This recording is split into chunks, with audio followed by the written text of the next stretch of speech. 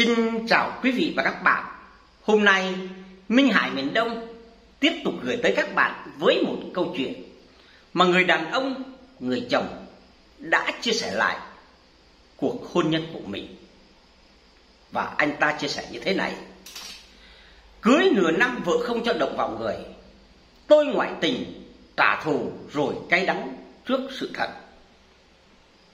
Ban đầu tôi cũng chỉ thấy hơi bí bách trong người nhưng vẫn không mảy may suy nghĩ gì. Vì ngoài chuyện đó, tình cảm giữa vợ chồng tôi vẫn rất là tốt. Thế nhưng dần dà tôi bắt đầu thấy khó chịu và nảy sinh những nghi ngờ về quá khứ của em. Giờ đây trước mắt tôi là tờ đơn ly hôn đã có sẵn chữ ký của vợ. Tôi đã làm gì với cuộc hôn nhân của mình thế này? Những lời mẹ vợ nói cứ ám ảnh tôi từ lúc đó tới giờ. Anh sai thật rồi. Anh phải làm gì đây, Hiền ơi? Đám cưới của tôi và Hiền diễn ra cách đây 6 tháng. Ngày cưới em thật đẹp trong chiếc váy trắng tinh khôi. Cầm tay và trao cho em chiếc nhẫn. Tôi đã hứa cả đời này sẽ yêu thương chăm sóc em. Sẽ không bao giờ khiến đôi mắt kia phải rơi lệ. Em vốn sinh ra và lớn lên tại một tỉnh miền núi nghèo. Gia đình lại hoàn cảnh. Khi bố mất sớm, song em luôn cố gắng vươn lên. Nhìn cô gái có vẻ đẹp trong trẻo và chất phát kia, có lẽ không ai nghĩ được em lại có một tuổi thơ cơ cực đến như vậy. Chúng tôi quen nhau khi em nộp hồ sơ ứng tuyển vào công ty tôi đang làm. Qua những vòng xét tuyển, tôi đặc biệt ấn tượng với em Em có một vẻ thuần khiết hiếm người con gái nào ở độ tuổi này còn có được. Cách nói chuyện, nụ cười của em khiến tôi chẳng thể quên từ lần đầu tôi gặp mặt em. Sau đó, chúng tôi không chọn em vì vị trí tuyển chỉ cần một người năng lực tầm trung, quan trọng là có thể gắn bó lâu dài. Còn với em, tôi muốn em có được sự phát triển hơn thế Xong tôi đã chủ động lấy số điện thoại của em để trò chuyện làm quen. Nói chuyện được một thời gian, tôi rất bất ngờ khi biết một người con gái giỏi giang như Hiền lại chưa từng có mối tình phát vai. Tôi hỏi nguyên nhân thì em chỉ lặng lặng không nói gì. Thực sự, việc chinh phục đều chưa ai làm được càng khiến tôi thích thú. Lần đầu tỏ tình, tôi lập tức bị em từ chối, song điều đó không khiến tôi nản lòng. Càng tiếp xúc với em, tôi càng muốn lấy được người con gái này làm vợ. Tôi đã kiên trì một lòng theo đuổi em và cuối cùng hạnh phúc đã mỉm cười với tôi. Về chung một nhà, cách hành xử của em rồi việc em đối nội đối ngoại chưa khi nào khiến tôi phải phiền lòng. Duy chỉ có một điều, chuyện yêu giữa hai đứa chúng tôi lại rất là trục trặc. Suốt 6 tháng sau cưới, chúng tôi chưa hề có một đêm vợ chồng đúng nghĩa.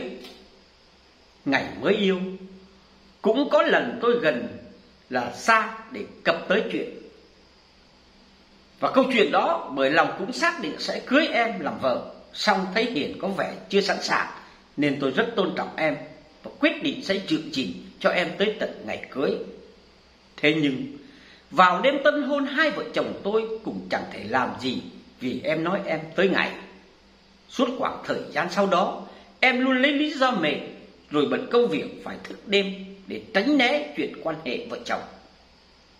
Ban đầu tôi cũng chỉ thấy hơi bí bách trong người, nhưng vẫn không mảy may suy nghĩ gì. Vì ngoài chuyện đó tình cảm giữa vợ chồng tôi vẫn rất là tốt. Em là người vợ rất chu đáo, luôn chăm lo cho gia đình, hết sức tận tụy Thế nhưng dần dần tôi bắt đầu thấy khó chịu và nảy sinh những nghi ngờ về quá khứ của vợ. Có lần tôi định sẽ thay đổi không khí, dùng một chút bất ngờ và những hành động có phần táo bạo để khơi dậy ngọn lửa đam mê trong em. Thế nhưng phản ứng của em khiến tôi như chết đứng, em bật khóc, hoảng sợ rồi co rúm mình một góc. Nhìn em tôi có cảm giác mình không phải chồng mà như một kẻ vừa định cưỡng hiếp cô ấy vậy. Tôi rất là giận và cho rằng có thể em đã lừa dối tôi về việc chưa từng có người yêu.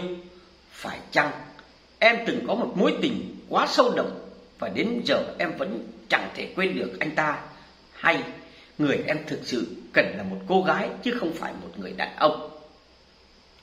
Cuộc hôn nhân của chúng tôi dần đi vào bế tắc. Những suy nghĩ đó khiến tôi trở nên chán chường và chẳng còn thiết tha về nhà vợ sau mỗi giờ ta làm. Tôi nhậu nhẹt, chè chén với bạn bè, rồi theo anh em đi giải khuây cho bỏ tức. Thỏa mãn được sinh lý vốn đã bị là kèm kịp bấy lâu nay, tôi thành ra quen mùi, thiếu là không chịu được, hận vợ vì không thể quên ai đó mà coi thường mình tôi cặp luôn với một em sinh viên làm phục vụ ở quán karaoke để trả thù đúng tôi sẽ cho em biết thế nào là cảm giác đau cảm giác bị phản bội ngoại tình chẳng hề giấu giếm nên chẳng lâu sau đó em đã phát hiện mối quan hệ bất chính này tôi đã nghĩ em sẽ đau khổ, sẽ dằn vặt rồi cầu xin tôi quay lại vì thực sự chúng tôi vẫn còn yêu nhau. Thế nhưng ánh mắt của em khi đó khiến tôi ám ảnh. Em nhìn tôi hồi lâu mà không nói điều gì. Đôi mắt thuần khiết ngày nào của em giờ hằn đỏ, ngấn lệ. Giây phút đó tôi biết mình đã sai, nhưng cũng mặc kệ, đâu phải tự dưng tôi lại đi ngoài tỉnh như vậy. Ngày hôm sau thức dậy, tôi đã không còn thấy em ở nhà. Căn nhà trống trơn không còn một thứ gì của em ngoại trừ một bức thư em đã viết nó và để lại trước khi rời đi, bức thư với những dòng chữ đã nhòe đi vì nước mắt khiến tim tôi như có ai đó bóp nát vợ tôi đã từng bị cường hiếp trong một lần đi đường về muộn ngay năm đầu đại học bí mật đó em đã coi như sống để bụng chết mang theo đó cũng là lý do bao năm em chẳng thể mở lòng với một ai bởi nỗi ám ảnh đó luôn khiến em gặp ác mộng mỗi đêm. Khi lần đầu được tôi tỏ tình, em đã quyên quyết từ chối vì mặc cảm với quá khứ của mình. Nhưng sự kiên trì và chân thành của tôi đã khiến lý trí em chẳng thể nào thắng nổi con tim. Em cảm thấy có lỗi với tôi ngay từ đêm tân hôn, khi những ám ảnh đó cứ dội về mỗi khi hai vợ chồng gần gũi nhau. Đã rất nhiều lần sau đó em muốn thành thật với tôi, nhưng thái độ gạt đi của tôi đã khiến em chẳng thể nào có đủ nỗi dũng cảm. Đọc đến những dòng này, tôi đã ngạ khủy. Trời ơi, đây là sự thật đau lòng mà em đã phải một mình chôn giấu suốt bao năm trời sao. Vậy mà tôi, người đàn ông từng thề non hẹn biển sẽ che chở yêu thương em, cuối cùng lại là người hiểu lầm em, khiến em phải đau khổ. Nhìn lá đơn ly hôn đính kèm bức thư Tôi không thể nào ngăn được những giọt nước mắt. Tôi đã sai, ngàn vạn lần sai rồi.